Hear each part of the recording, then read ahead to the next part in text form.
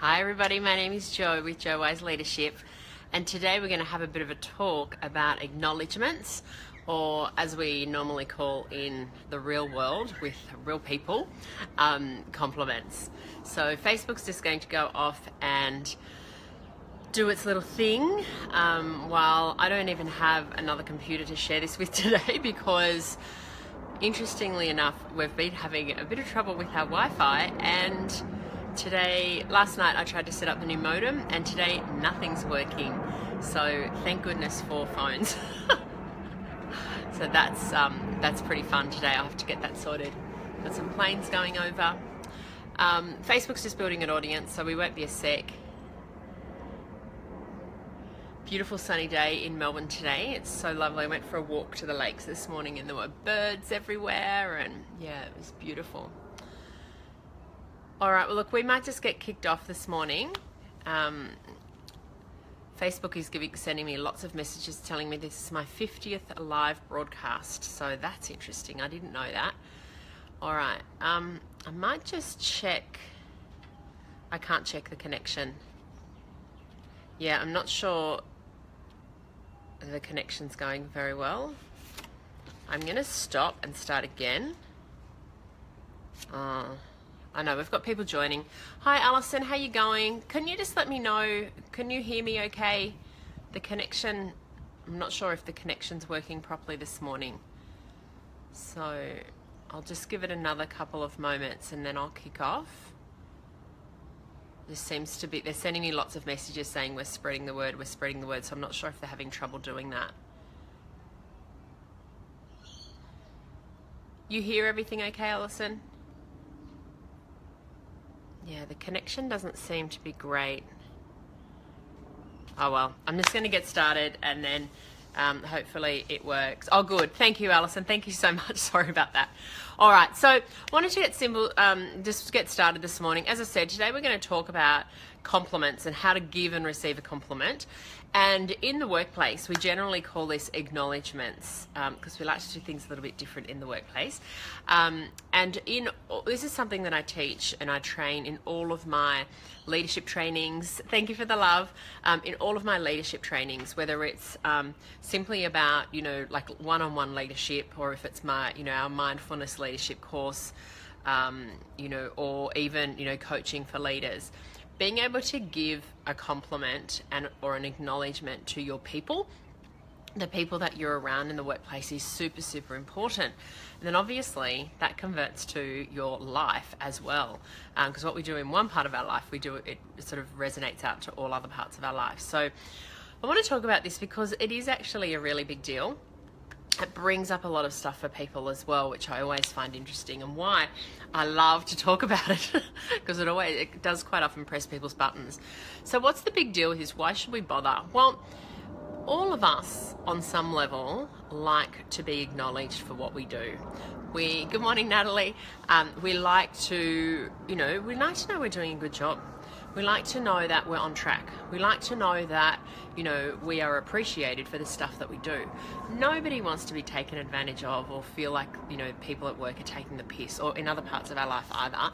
So giving an acknowledgement is a really genuine way, or I'll say give genuine acknowledgements on compliments is a really great great way of acknowledging the people that are around you for what they're doing and how they're doing it. So it is a really big, big deal. Thank you very much. Hi, Natalie. Nice to see you as well. I've got two Natalies on this morning. Um, so it is actually a big deal. And I know when I worked at American Express for years, many years ago, oh, sorry, this threw everyone off there. Um, I we used to actually have KPIs around giving acknowledgements and acknowledging others. And when I first started there, I thought it was kind of a bit of a weird thing, but um, it, it actually created a really great habit in me because I just used to systemize it, of course, because I like to be able to lightly systemize everything. So every Friday, if I I just have a question in my diary saying, you who have you acknowledged this week? And hi, Adam. And um, and so if I hadn't already actually formally, officially acknowledge someone that week, I would make sure that I would do it by the Friday every single week. And it just created, as I said, a really great habit in me. And what I also noticed is by starting to do this at work, I started to have an awareness of where else I can do it in other areas of my life as well. So thank you for the love. So it is a big deal, and I encourage you to do it wherever possible. Now, why I said it's an interesting topic because it actually brings a lot of stuff up for people. And it's about the stuff that comes up is quite often about the giving of the compliments or the acknowledgements and also the receiving. So, um, one of the, the things we do when I, as I said, when we do leadership trainings, we always talk about this, and I always make sure that we get plenty of opportunities to give and receive an acknowledgement during each of the courses that we do. And it's interesting because the giving an acknowledgement can bring up stuff around people feeling like someone's going to think they're a bit weird. Um, you know, if they've never done it before, people are going to question, you know, their motivations behind it. These are the things that brings up, not what actually happens.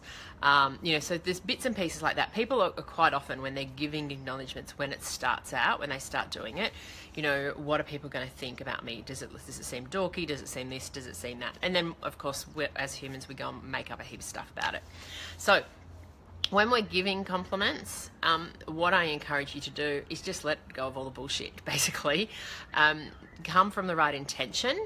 And when we're coming from the right intention, that I'm giving a genuine acknowledgement or compliment because I'd like to acknowledge this person for this great thing they did or for this little thing that they did. When we come from the right intention with that stuff, we don't get mis- you know, things don't get misinterpreted. So just um, if you've got stuff coming up and fears coming up around it and you know telling yourself little self-doubt stories around oh i don't know if i should do this. I don't know how the person will take it then just do it and just start practicing it. And like everything when we build a muscle around this we'll get better we'll get more comfortable we'll strengthen it and then it'll just become a part of what you do like it was what i do what i did at amex and continued right through.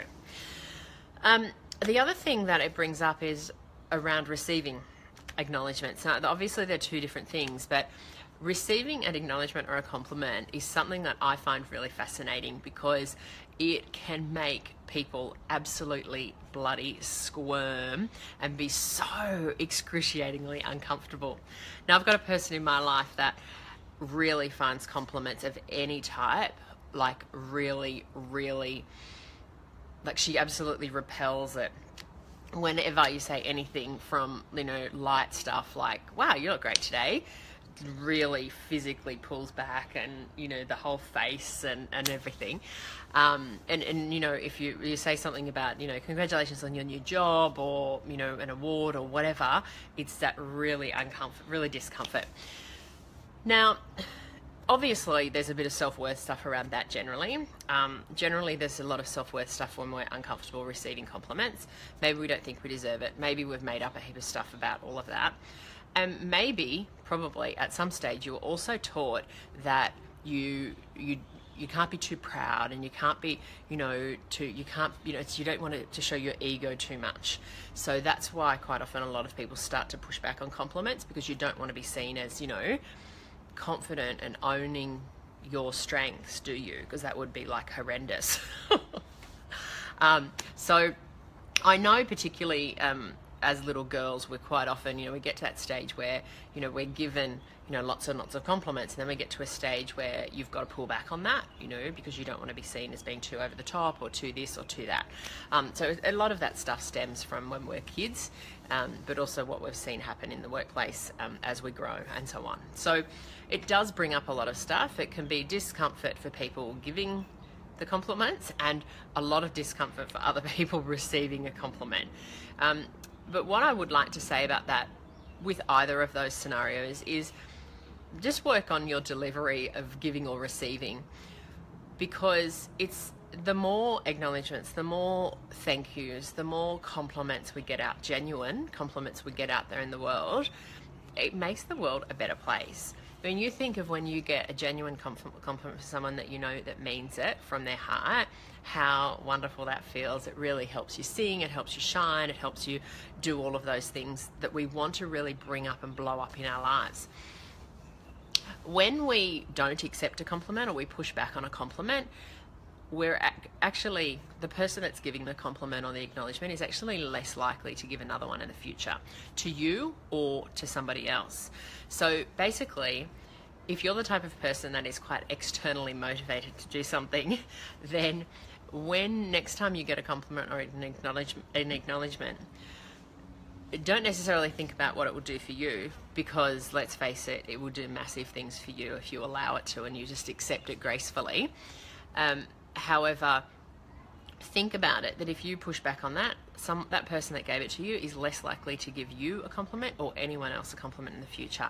So basically, you're making the world a crappy place. So how's that for motivation? All right. So, how do you give an acknowledgement or a compliment?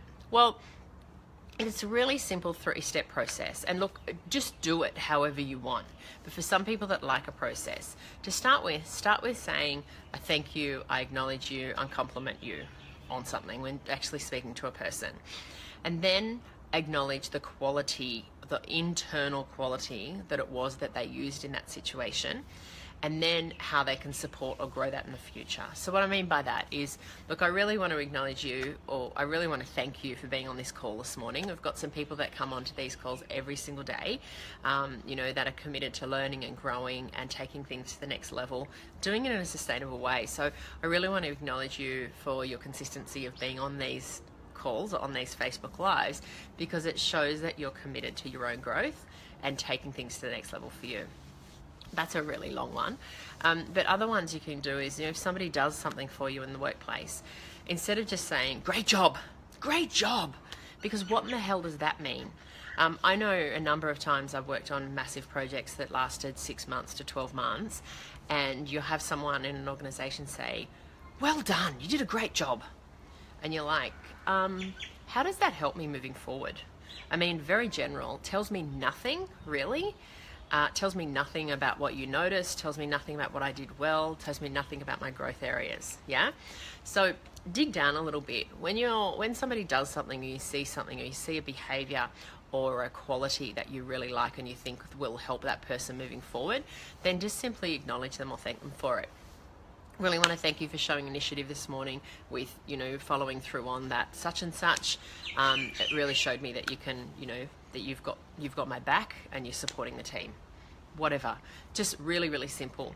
Um, so to start with it's thanking or acknowledging. So i want to thank you or i want to acknowledge you or i want to compliment you. Yeah. Um, on the quality make it an internal quality rather than something external because it's the internal qualities that we really grow that are the things that really help us grow and develop. And then how it's going to you know what we'd like to see in the future or how they can grow it um, to get the results they want in the future so that's all pretty much how you do it. And as I said, um, one of the things that comes up quite often with this, because I, when I have this conversation, I quite often do say, look, when, um, quite often when I'm out with Marley, thank you for the love. Quite often when I'm out with Marley over the years, people will come up to me and say, like give me really nice compliments about being a mum. Um, and recently we were down, Marley and I went down the beach, just the two of us for a few days, and while we were down there, we were playing outside, and we were staying at one of those Airbnbs. It was actually like attached to a person's house, like it was like a granny flat. Um, we would nev- normally never stay in a place attached, but for this, because it was just the two of us, we did. Um, and so the the lady that ran it, the granny that ran it, was sort of you know around a bit, not like not with us, but just sort of around doing the gardening. And she came up to me at one stage and said, you know, when Marley was inside, and she's like, I just, I've just been really watching you and the way you play with your son. It's really nice to see how, you know, how you're engaging and, and how much you're playing together. It's really, really nice to see. Um, you know, you can tell that you're a great mum. And I said, oh, you know, thank you very much. Yes, I am, and I love it. Um, and it's really awesome. So that was it, you know. And um, and I always find it interesting because when somebody compliments me on being a great mum, I totally own it because I know I am. And when I speak about that, it, particularly if I'm speaking about that in, a, in an audience of leaders, there's a bit of discomfort there about, well, what's the difference between owning a compliment and your strengths and, and things, and wh- like where does sort of ego fit in? um, and you know what I say? You know, I totally own my strengths. Well, I'd, I'd like to rephrase that. Mostly, I own my strengths, and I totally do around being a mum um, and lots of other areas in my life. If someone's going to give me a compliment, then I'm going to own that and I'm going to be loud and proud about it and say, Yes, thank you, I am a great mum, and you know, thanks for the compliment. So, it's, it's really interesting to see how people react to that because there's probably some of you here on the live today that are going, Oh, I could never do that. I could never do that. But remember what I said, you know, if we're accepting a compliment, it will, if we're not accepting a compliment and we're pushing back on that compliment, that person's, you're basically saying, You're wrong. What you just said was wrong. So that woman that gave me the compliment about being a great mum with Marley, she, you said to me, "You're a great mum. I can see the way you're interacting." I said, "No, you know, I'm not a great mum.